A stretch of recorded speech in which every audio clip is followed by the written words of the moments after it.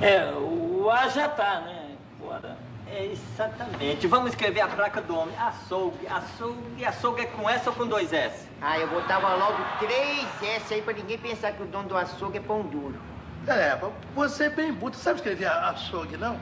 Açougue. A-S-O-U. Sougue. Esse, esse, esse sou aqui me invoca. Aí que me dá a dúvida de escrever com S ou com dois S. Ah, deve ser aquela letrinha que tem um rabinho. Rapaz? Onde é que tu viu o rabinho em letra?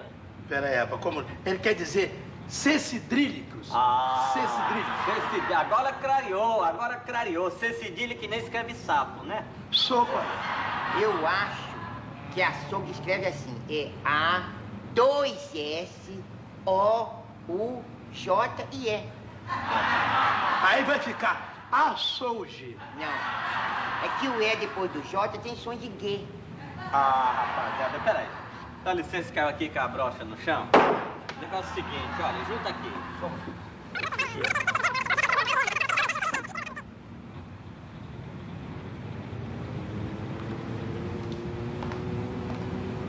E a tal?